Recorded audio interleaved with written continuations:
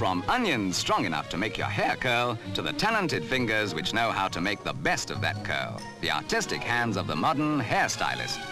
In this case, they belong to a young man who may one day be famous in high fashion circles as Michael. Yet out of the salon, those delicate hands may make him just as famous, not as Michael, but as plain Mike. Mike Pearman, champion weightlifter.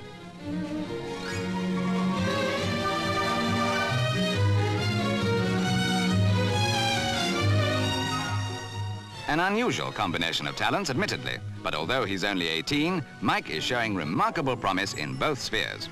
Every spare moment is spent in training for the day when he will represent Great Britain in the Olympic Games. Yet, we're assured, the stronger he gets, the gentler his touch in hairstyling.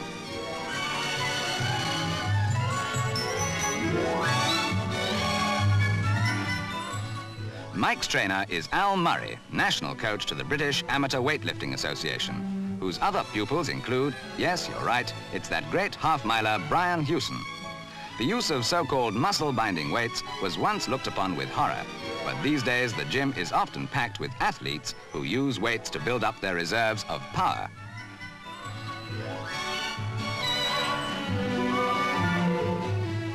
It's even fashionable for glamour girls to train with weights these days, although Ann Ducking here is not just a pretty face, she's an international shot putter.